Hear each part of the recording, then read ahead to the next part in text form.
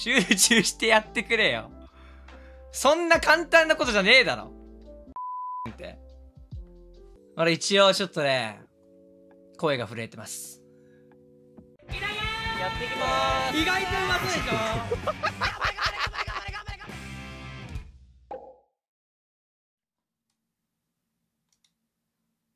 前回のお題箱もなかなか狂ってましたが、今回も狂ったお題、たくさんありがとうございました。今回のお題は、えー、誰にも言えない秘密というわけで、もう墓まで持って帰ろうと思っていた秘密を皆さんに、えー、このお題箱に投げていただきました。まあ、順々に発表していこうと思います。はい、1個目。まあ、軽いとこから。はい、どん。爪を瓶に溜めて、溜まったら瓶ごと焼いてる。これね、俺の知り合いにもいんのよ。これさ、いや、この壁、実際あるやついね俺の周りにも一人いんだよな。あの、営業職やってる人でさ、そいつの足の裏って硬くなってね、たまに皮がベロンって抜けるわけよ。その皮を瓶に集めんの。俺も、なぜ？って思うんだけど、なんでなんだ？やる人は。きしょいよな。きしょいよって俺も面と向かって言ったよ。面と向かってきしょいやからやめときなって言ったけど。理由ないんだろうね、本当にね。はい、次。えー、お、お魚の神経締め、美味しくするためにサークマイにするやつを YouTube で見るのが好きな28歳、独身女です。命を感じるのが快感というか変な気持ちになります。お刺身大好きいただきます忘れます。これはね、俺もわかるよ。これは別に、言えないことじゃないって。これは、これは俺も好きだよ。みんな。あのー、神経締めっつって、釣った魚ね、あのー、首ちょんってやって、そのところに、鉄の、細い針金みたいのをビュッて刺すと、血が抜けて、保存できる期間とかが長くなんだよ。で、その時に、背骨のところにね、針金をギュッて入れると、魚が、ルルンってなって、もう息絶えるわけ、完全に。ルルンってなって。単純にね、見てて気持ちいいから、俺もよく見ます、これは、神経締めは。神経締めの動画って結構再生回数多いしね。神経締め職人みたいな、あの、YouTube チャンネルで、チャンネル作って神経締めずっとやってる人いるよ。一生神経締めやってる人いるよ。はい、お次。じゃん。えー、〇〇、〇〇〇何なんだろうな、3文字。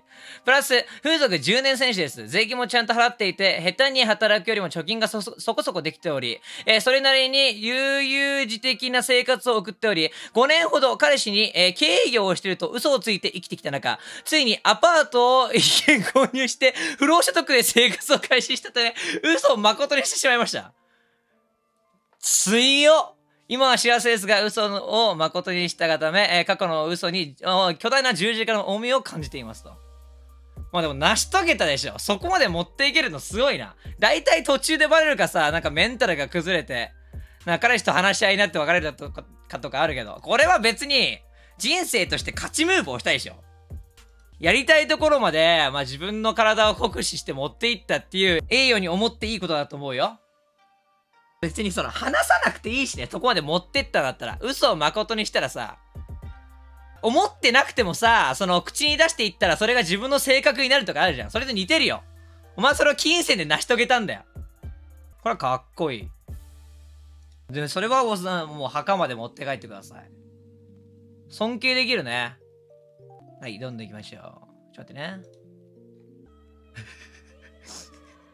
誰にも言えない秘密。26歳、えー、女、未経験。えー、恋愛経験はあるものの、両、両思いになった途端冷めてしまう傾向があり、次元関係なく推しはいるものの、えー、現実の男性や女性に興味がなく、水道光熱費、家賃3ヶ月分踏み通し、借金80万、えー、終身前いろいろ終わってるよ。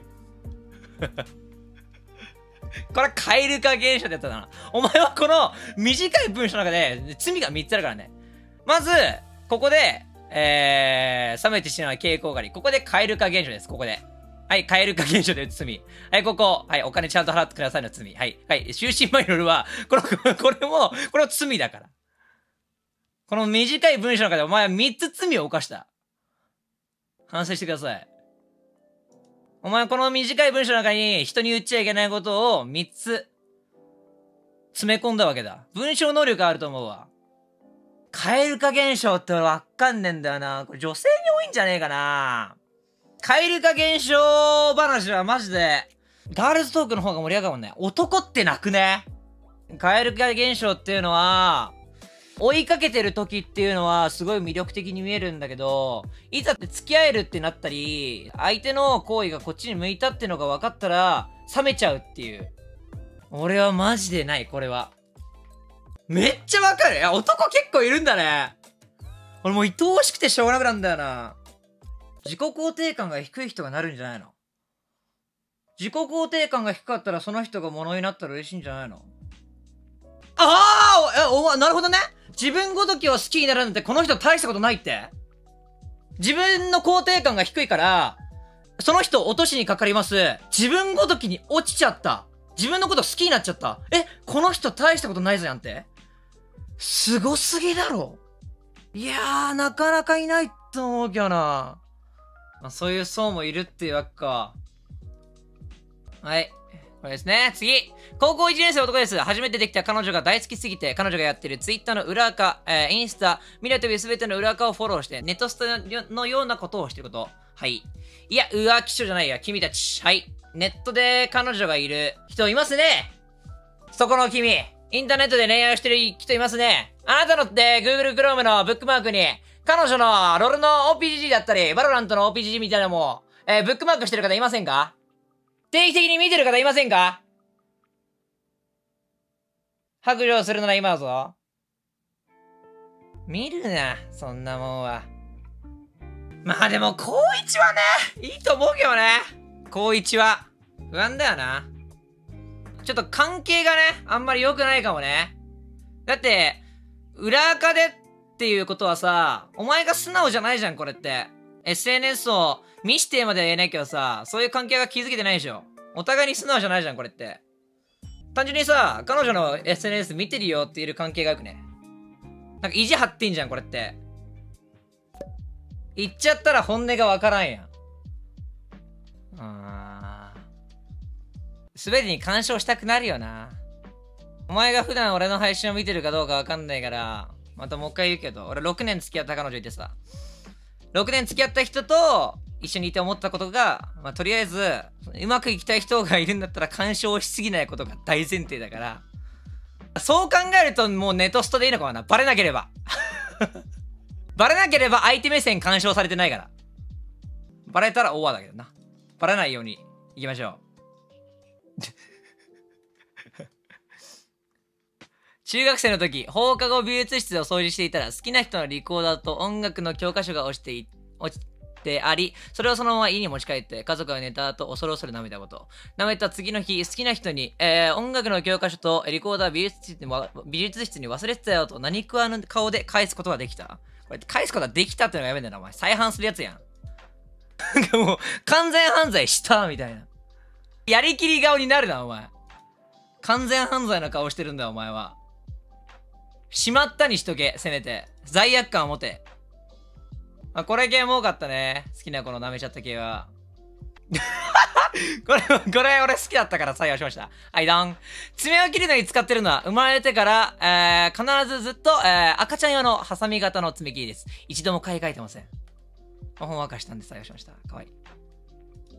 愛着があるならな、もはや。はい、これも面白かったんで 採用しました。彼女のおなたに付き合ってた時、通り部読んでた。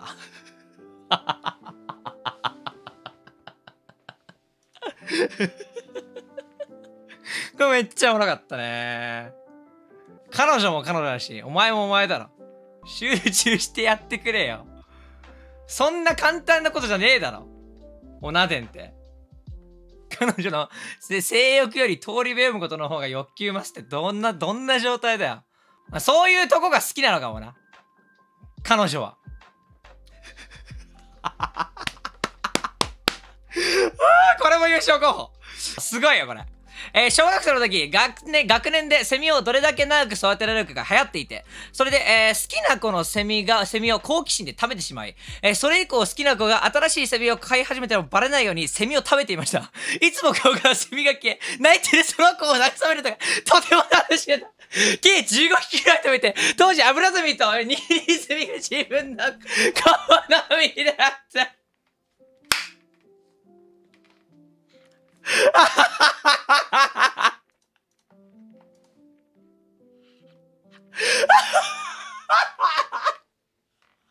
ああ、これはちょっと、うわー、おもれー。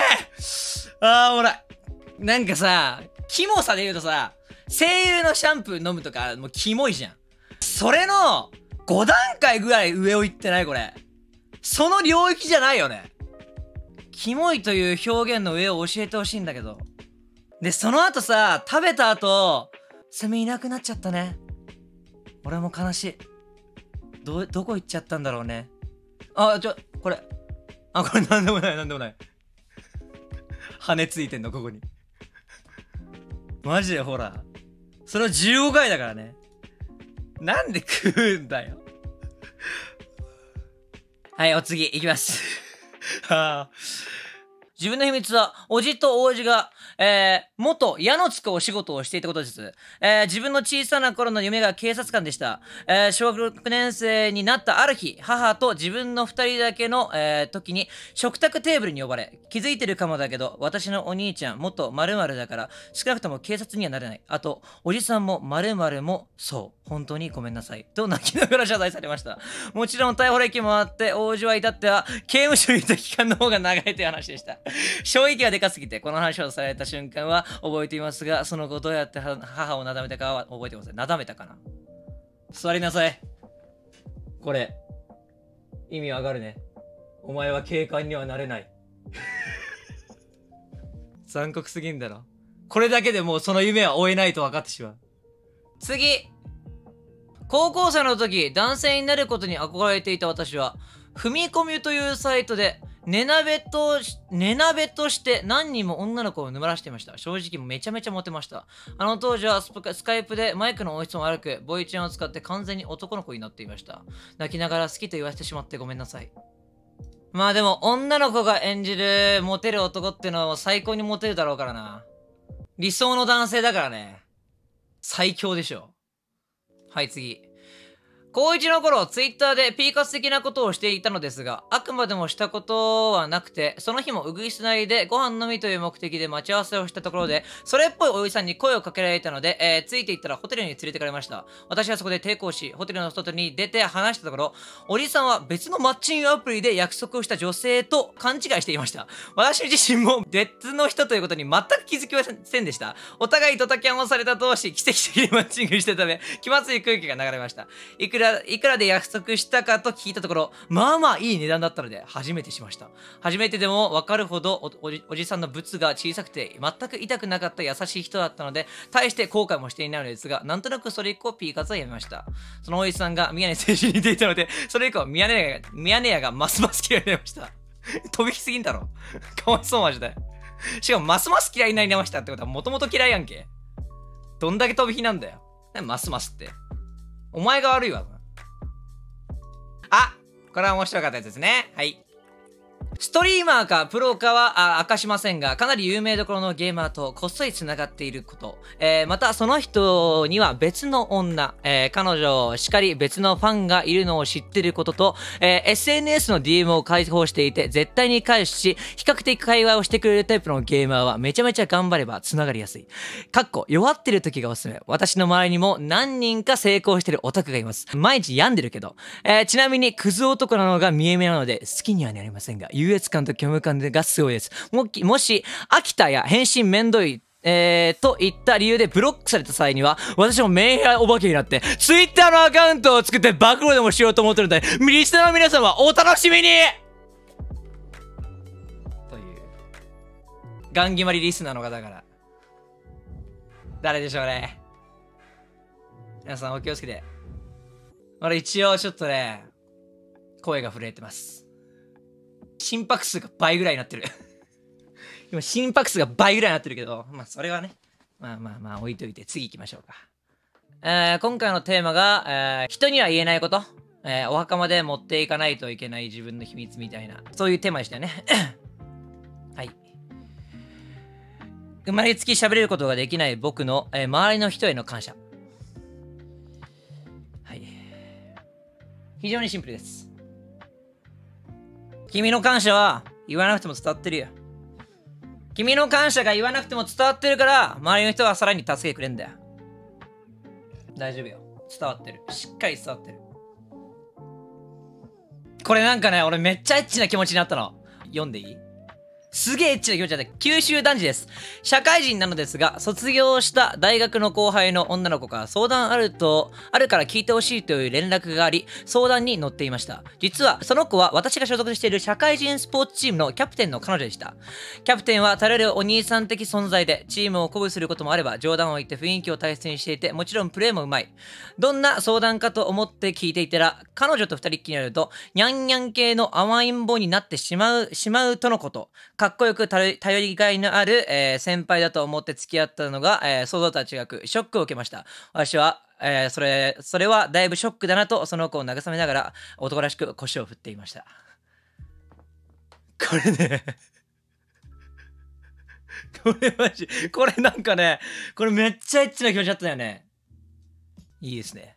終わり方が素晴らしい。美しいです。これは。推しの女性 VTuber の配信を見るときに万が一にも性的興奮を覚えないように必ず抜いてから見ることを心がけている。修羅の道だね。だって VTuber の人たちってさ、女性 VTuber だったらさ、夏だったら水着の写真、水着の絵流れてくるしさ、マジで修羅じゃない？邪念を全て取っ払って、押すっていうことだけを100%にして生きてるってことでしょ？すごいでしょ？過酷ななんか道を行ってるね、お前は。はい。今回はこんな感じでしたかね。まあ、今回300ぐらいか、メッセージいただいたんですけれども、おもろかったのが、まあ今回採用させていただきました。MVP ですか？セミかな？セミだろうな優勝は。小学生の時、えー、学年でセミをどれだけ長く育てられるかが流行っていて、それで好きな子のセミを好奇心で食べてしまう。それ以降好きな子が新しいセミを飼い始めて、バレないようにセミを食べて、食べていました。いつも顔からセミが消え、泣いているその子を慰めるのがとても楽しかった。計15匹ぐらい食べ、当時油セミと22セミが自分の好みだった。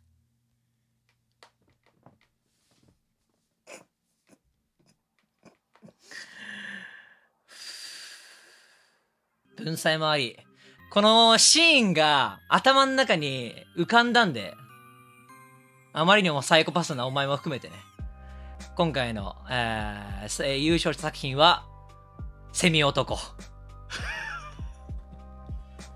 マシュマロ送ってくれた方、ありがとうございました。